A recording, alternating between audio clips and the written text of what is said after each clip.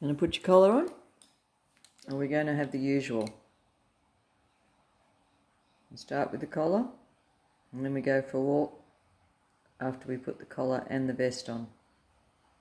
Come on then. Spirit, why won't you wear your collar? What is it about the collar and the vest? Can you just put it on, please? Put it on, please. Why not? Just put the collar on. Why don't huskies like to wear their collar? Why not? Why not? Roo-rah. Why can't you just put it on? Why must we do this every day when we go to go for a walk?